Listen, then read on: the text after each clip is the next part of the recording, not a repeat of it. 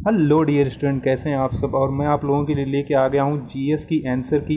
जैसा कि मैंने आपको वादा किया था कि एक घंटे के अंदर थोड़ा सा लेट हो गया एक्चुअली क्वेश्चन ढूँढने में टाइम लग गया, कई बुक से निकालना पड़ता है, क्योंकि एक बुक तो में तो ये सारे आंसर मिल नहीं रहे हैं। ठीक है तो आप लोग ये वीडियो को लाइक ज़रूर कर दीजिए शेयर ज़रूर कर दीजिए और दूसरी बात मैं लाइक करने को बोल रहा हूँ यार लाइक ज़रूर करो वीडियो वीडियो को आप लोग लाइक नहीं कर रहे हो। आपको मैं पूरे के पूरे आंसर प्रोवाइड कर रहा हूँ।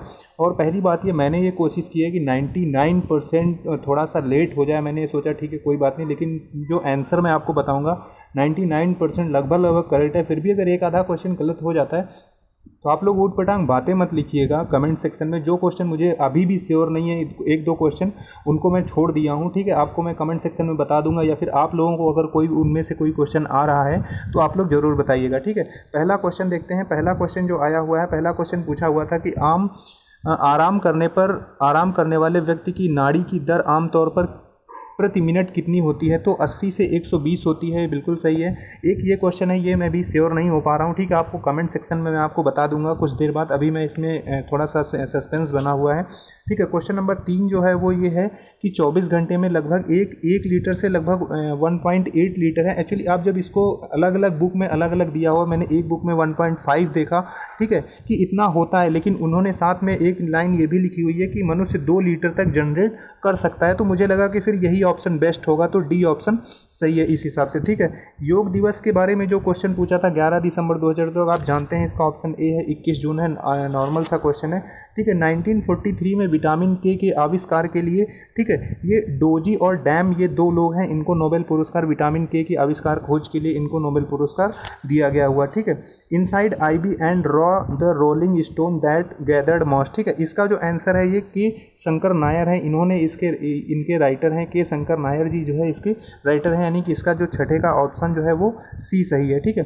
इसके बाद जो जीएसटी का क्वेश्चन आया हुआ है, इसमें जीएसटी 101 संविधान संशोधन के द्वारा लाई गई हुई, आप सब जानते हैं तो इजी सा क्वेश्चन था, ठीक है? इसके बाद ये जो क्वेश्चन नंबर आठ है, अभी मैं इसके बारे में श्योर नहीं हो पाया हूँ, इसको भी मैं आपको कमेंट सेक्शन में बता दूँगा, मैं आपको गलत क्वेश्चन नहीं बताऊँगा, जिनमें श्योर नहीं है, मैं एक ही, दो ही, तीन, चार क्वेश्चन है जिनमें मैं श्योर नहीं पाया हूँ, बाकी की सारी के सारे मैं आपको आंसर बता रहा हूँ, ठीक है? इसके बाद जो जकार्ता 2000 जकार्ता एशियाई खेल 2018 में शूटिंग जीतने वाले जो सौरभ चौधरी हैं, वो किस ज़िले के हैं? मेरठ ज़िले के हैं। ये जो है एक्चुअली देखिए, ये जो जो स्टूडेंट ने अटैम्प्ट किया हो, ये मेरा ही पढ़ाया हुआ स्टूडेंट है और इसके जीएस के लगभग लगभग, ये देखिए जो बड़ा वाला जो ब्लैक पेन है, ये वाला, ये मैंने अटैम्प्ट किया हुआ है, ये मैंने सही किया हुआ जो छोटा वाला है, ये जो स्टूडेंट ने अटैम्प्ट किया है, उसी ने ही सही किया हुआ है।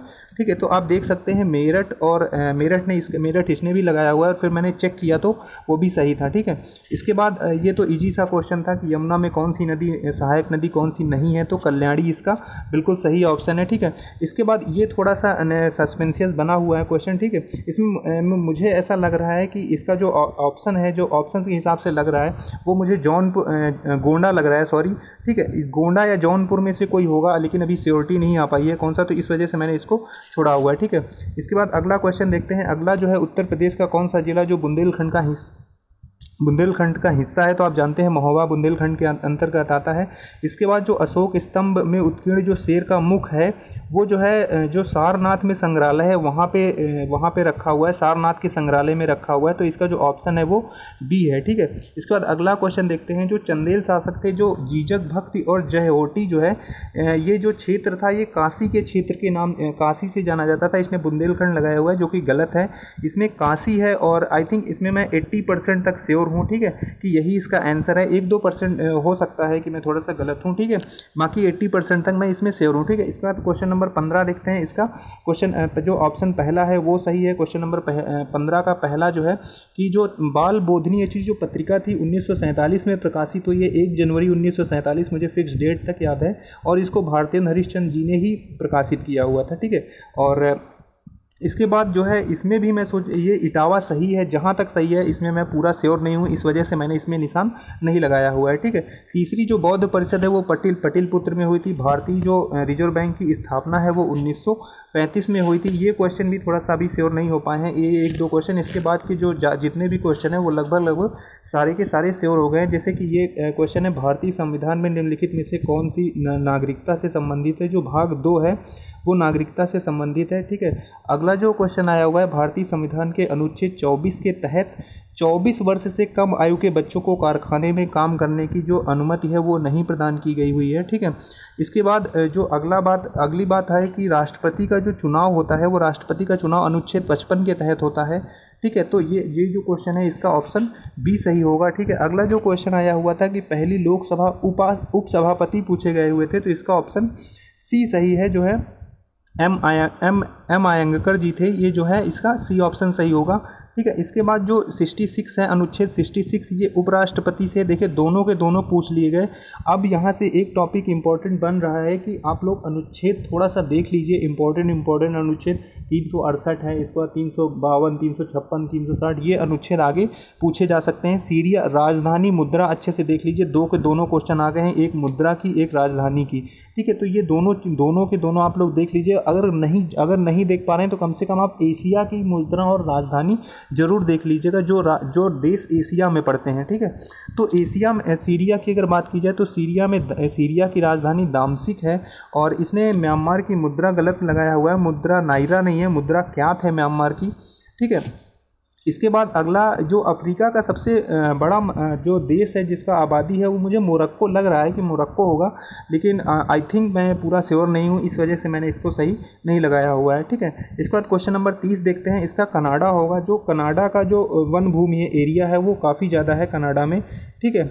इसके बाद इक्कीस नंबर में अगर हम देखें कि कौन सी नदी बंगाल की खाड़ी में नहीं गिरती है तो नर्मदा देखेंगे, नर्मदा अरब सागर में जाके गिरती है ठीक है, इसके बाद अगला देखेंगे, ये जो कृति भारती थी, ये राजस्थान की हैं जो है, राजस्थान की कृति भारती हैं और इन्होंने बाल विवाह को लेके बहुत बड़ा पूरा आंदोलन खड़ा कर दिया था। तो इन, इनका जो जो विरुद्ध लड़ाई थी, वो बाल विवाह के लिए थी, ठीक है। इसके बाद राजनाथ सिंह ने जो है, छत्तीसगढ़ के लिए भारत सरकार मीन्स जो गृह मंत्री हैं, राजनाथ सिंह ने, उन्होंने ही इसकी घोषणा की थी, न्यूज़पेपर में बहुत बड़ा बड़ा आया हुआ था। और जो उसका जो युद्ध बल था, वो कोबरा नाम था, ठीक है। उन्नीस सौ बहत्तर में जो है, पाकिस्तान और शिमला का समझौता हुआ था, आप लोगों ने याद किया हुआ, होगा वो गाना, याद करो वो शिमला समझौता, ठीक है? तो वो बहत्तर में हुआ था शिमला समझौता, ठीक है? इसके बाद 2018 में किस शहर में नाबार्ड की जलवायु परिवर्तन केंद्र स्थापित किया गया हुआ है? तो वो लखनऊ में स्थापित किया गया हुआ है, ठीक है? इसके बाद अगला क्वेश्चन देखते हैं, जो अंतर्राष्ट्रीय मुद्रा कोष के जो प्रबंध निदेशक और अध्यक्ष हैं, क्रिस्टोन लगाडे जी वो जो है फ्रांस के हैं, ठीक, क्रिस्टीन लागडे हैं तो ये कहाँ के हैं? फ्रांस से संबंधित हैं, ठीक है?